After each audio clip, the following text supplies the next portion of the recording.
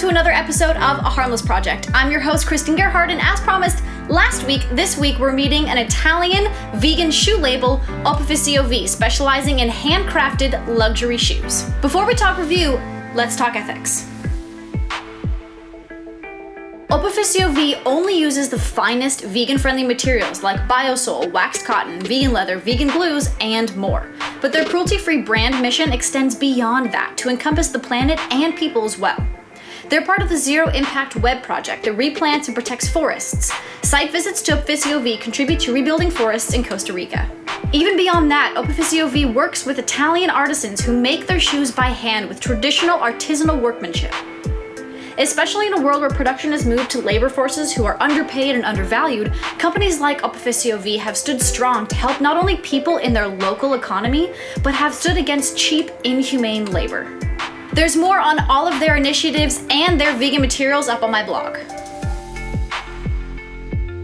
I have here their V53 rain boots in sand. Made from PVC, these are waterproof, incredibly comfortable, and perfect for the El Nino season that's set to hit LA next year. The sole is supportive but incredibly soft, and the PVC is thick but easy to wear. It's malleable, and I found these to be comfortable even if worn on long walks or for long periods of time. Come in black and blue, so you can easily find a color that will fit into your wardrobe. I wear these boots even just to run around town, rain or shine. I love the sleek short ankle boot style. The color is chic, the fabric on the sides is very on trend right now, and the slender frame of the boot makes them easy to wear with jeans or dresses alike. I think a cute pair of sturdy rain boots are a great investment, and this luxury version will not break the bank, but will last you a very long time.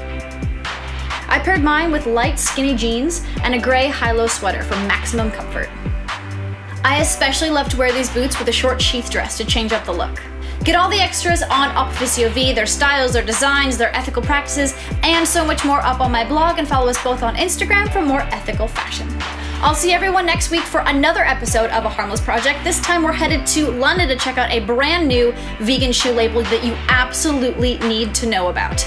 I'll see you guys then.